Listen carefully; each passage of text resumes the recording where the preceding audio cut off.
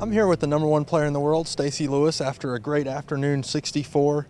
Um, six top 25s in a row, but not the level of golf you're accustomed to.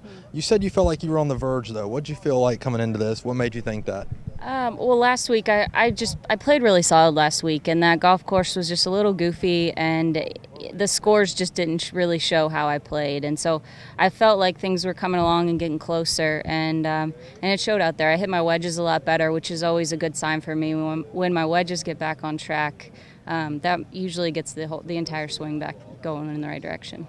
You said Bermuda grass was a big thing um, growing up on it, and that's why you thought you'd played so well in the South. What is different about that as far as playing maybe in another place where the bent grass is?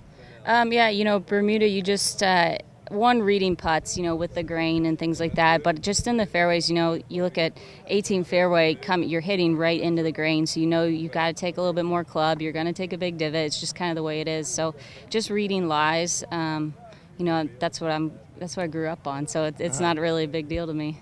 You took a girl, a local seven-year-old girl, around for nine holes yesterday during the pro am. Was she your good luck charm this week so far? Um, so far, you know, I have to thank Allie. You know, she wanted me to make an eagle yesterday, so I still haven't done what she wanted yet. I, I need to make an eagle for her. That was my goal this week. So, um, so I'll, I'll look to do that the next next couple days.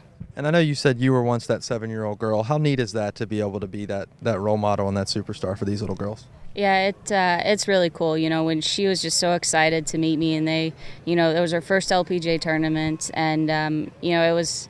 She she definitely warmed up to me at the end. You know, she's a little nervous in the beginning, but she we, she had she was driving the cart, she was doing the scorecard, uh, she was taking the pin out. She was trying to take Travis's job, I think. so um, so it was just really cool. You know, I hope I gave her an experience that she'll never forget, and um, you know, it's it's just something I love to do.